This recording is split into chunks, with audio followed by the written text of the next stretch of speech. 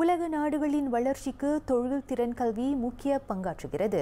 அத்துறையில் பயிற்சி பெற்ற பலரின் எதிர்காலமும் வேலை வாய்ப்புகளினால் சிறப்பாக மேம்பட்டிருப்பதை மறுக்க முடியாது.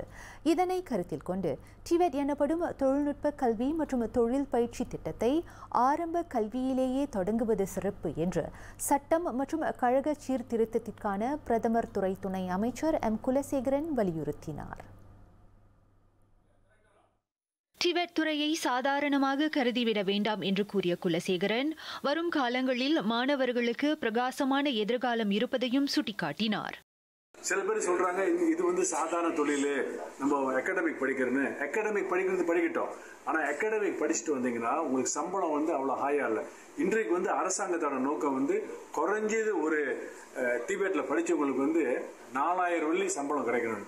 ஸோ இது வந்து இந்த வாய்ப்பை எடுத்துக்கிட்டு நம்ம பிள்ளைங்களை வந்து இந்த மாதிரி கம்யூனிட்டி காலேஜ் டிவேட்டுக்கு அதுக்கு மாதிரி அனுப்புங்க. அரசாங்கம் க- கல்லூரிக்கு அனுப்புங்கன்னு நான் கேட்டுக்கிறேன். இன்று பேரா சுங்கை சிப்போட் கம்யூனிட்டி கல்லூரியில் மலேசிய தமிழ் நெறியுரைஞர்கள் அமைப்பின் ஏற்பாட்டில் நடைபெற்ற கருத்தரங்கிற்கு வருகை புரிந்த எம். குலசேகரன் செய்தியாளர் சந்திப்பில் அதனை தெரிவித்தார். டிவெட் குறித்து மாணவர்களிடையே விழிப்புணர்வு ஏற்படுத்தும் நோக்கில் இந்த கருத்தரங்கு நடத்தப்பட்டதாக ஏற்பாட்டுக் குழு தலைவர் முனைவர் மு. இந்திரன் தெரிவித்தார்.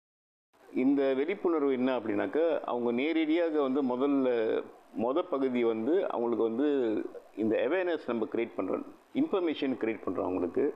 இரண்டாவது பகுதியாக வந்து இந்த மாணவர்கள் வந்து ஒரு ஒரு பெங்கையில் ஒரு ஒரு ஒர்க் ஷாப்பாக போய் அவங்க வந்து முக்கியமாக வந்து எப்படி எலக்ட்ரிக்கல் படிப்பை வந்து எப்படி அவங்க தெரிஞ்சிக்க வேண்டியன்றது அது முழுமையாக இங்கே உள்ள லெக்சரர்ஸ் வந்து தெரியப்படுத்துவாங்க. சுற்று வட்டாரத்தில் உள்ள மூன்று இடைநிலை பள்ளிகளில் இருந்து சுமார் முன்னூற்றி ஐம்பது இந்திய மாணவர்கள் இதில் பங்கேற்றனர்.